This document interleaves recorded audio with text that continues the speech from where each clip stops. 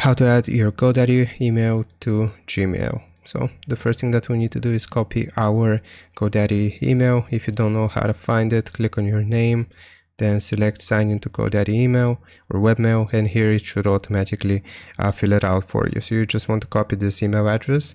You may have noticed that mine is Gmail anyway, but I'll show you how this works. So we want to go into Gmail here, click on the gear icon for the settings and then select see all settings. Now here we will go into accounts and import selected and then you will select uh, import mail and contacts. So we will import the mail and contacts here, or actually we will select add a mail account. So check mail from other accounts. So click on add a mail account. Once we select it, you will be able to input your uh, GoDaddy uh, email right here.